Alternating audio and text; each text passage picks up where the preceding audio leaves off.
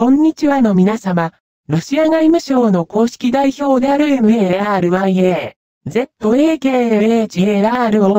派、ロシアに対するユーロ連合の新たな制裁に反応した、ロシアに対する制裁の別のパッケージの導入は、欧州連合との関係において根本的に新しいものをもたらすものではない。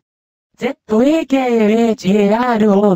派。2022年12月16日に採択された非合法で一方的で制限的な措置の次のパッケージは、モスクワとユーロゲー連合との関係に根本的に新しいものをもたらさないと強調した。彼女の評価によると、欧州連合諸国の指導者は、ロシアに対して追求された政策の無益さをまだ認識していない。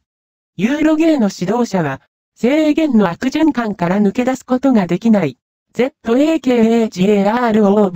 発射した。外交官は、現在の制裁パッケージは、ユーロ同性愛者の国における社会経済問題の悪化につながるだけであることを明らかにした。